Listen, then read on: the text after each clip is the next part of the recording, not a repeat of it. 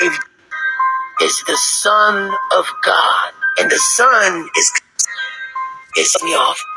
If Jesus is the Son of God, and the Son is considered a star, a star that's in the morning sky, and Lucifer is considered a name morning star, who the fuck? If God created light from the darkness on the first, only to make the sun and the moon on the fourth, and the sun was not created to shine light upon the earth in the morning sky, nor was the moon created to shine light upon the earth in the dark sky. What the fuck was the point of the moon and the fucking sun? Because we already had light, because it was created on the fucking first day.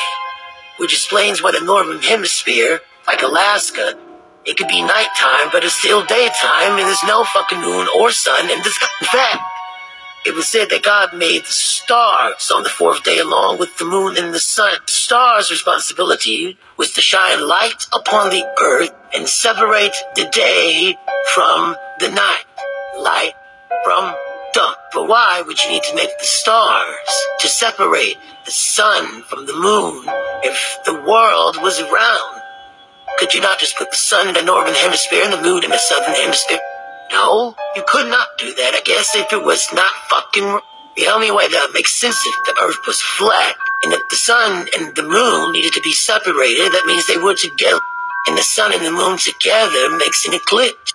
So if light was created from the dark on the first day, and God went three days without the moon sun, only to make the stars with light, would that be the equivalence of the second coming of light?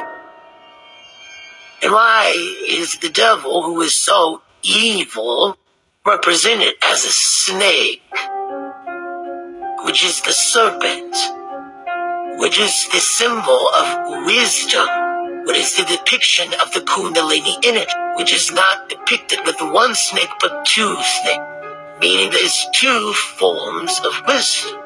Wisdom is knowledge and understanding together. If the serpent was bad for spreading knowledge, and Jesus was here spreading knowledge, and Satan didn't spread knowledge, who the fuck is the real devil?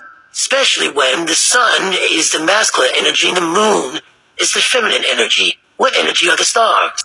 This is about to piss me off. If Jesus is the Son of God.